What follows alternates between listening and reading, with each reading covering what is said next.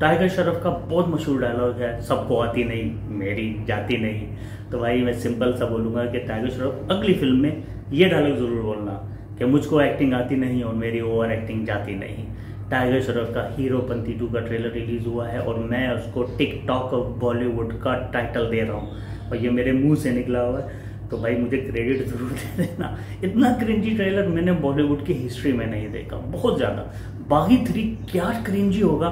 जो ये बागी टू का ट्रेलर था। अरे भैया, कानों को हाथ लगाने वाली बात है।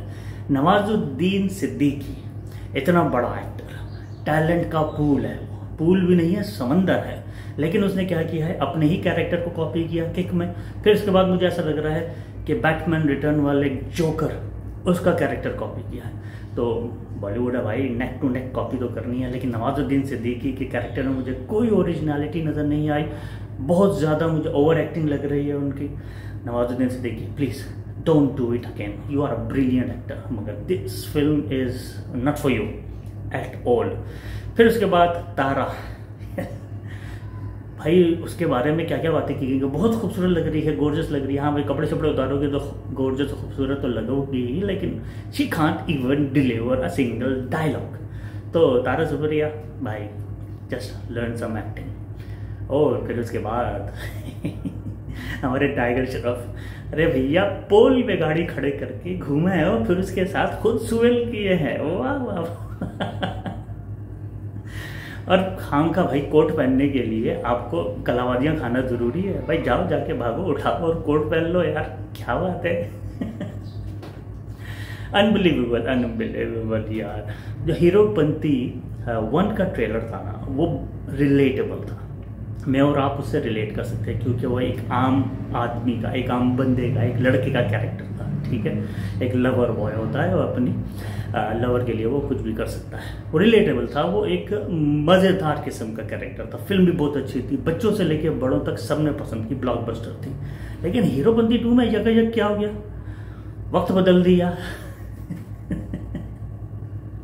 जमाना बदल दिया, सब कुछ ही चेंज कर दिया। यार, उस कैरेक्टर को रखना चाहिए था। आज से एक, उस कैरेक्टर को मारने के बाद, इस वाले कैरेक्टर को उन लोगों ने जो री इमेजिन किया है आई थिंक बहुत बुरे तरीके से किया है। ट्रेलर थ्रू आउट स्टूपिडिटी से भरा हुआ है।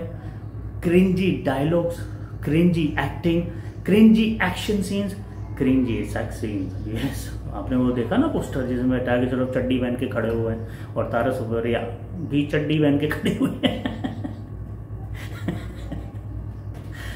एनीवे anyway, आप लोग मुझे बताइए आपको ये ट्रेलर कैसा लगा? भाई मैं तो हंस हंस के पागल हुआ होता अगर मैं इसका प्रॉपर रिएक्शन करूँ ना मैं इतनी मैंने तो यार। लिव इट मैं यहाँ तक भरा हुआ हूँ इस ट्रेलर को देखने के बाद। बागी थ्री देखने के बाद जो है ना मैं कह रहा था, यार, टाइगर श्रॉफ, शायद तुम्हें अकल आ जाए। अहमद खान के साथ काम मत करना। मगर अहमद खान जो साइंस की और फिजिक्स का बलात्कार करता है ना, मेरा नहीं ख्याल कि बॉलीवुड में कोई ऐसा डायरेक्टर होगा। तो भाई, अहमद खान के साथ काम करना छोड़ दो टाइगर श्रॉफ, अपना कैरियर मत तबाह करो। और अहमद खान, मेरी एडवाइस है don't make movies can't make movies not a single movie you have made is a blockbuster or even a hit or even a average movie तो भाई don't do it simple is that मेरे लिए very very disappointing trailer film बच्चे देखेंगे तो देखेंगे, लेकिन जिस तरह की इसमें एक्शन दिखाए गए हैं, वो टाइगर श्रॉफ को भी सूट नहीं करते. और हाँ जो टाइगर श्रॉफ वाला पोस्टर रिलीज़ किया, जिसमें उसके आगे पीछे सारी गने पॉइंट हो रही हैं टाइगर श्रॉफ काम एंड कलेक्टेड खड़े हुए हैं जॉन विक का है है ना? बॉलीवुड और कॉपी नेक टू नेक कहीं से भी कॉपी करो भाई। करना है फ़िल्म बनाना है, ढाई घंटे की, और पैसा कमाना है। ये नहीं होता यार इंटरटेनमेंट अगर आपने लोगों तक पहुंचानी है थोड़ा सा यूनिक कंटेंट दे दो यार। मगर unbelievably disappointing unbelievably disappointing that's it guys ये था मेरा रिव्यू और अगर आपको मेरी किसी बात से इतफाक है तो ठीक है। अगर नहीं है तो आपकी मर्ज़ी, आप मुझे कमेंट में ज़रूर बता देना। और आप मुझे बताइए, आपका क्या ख्याल है इस ट्रेलर के बारे में। अपना बहुत ख्याल रखना स्टे से खुश रहें। अल्लाम गुड बाय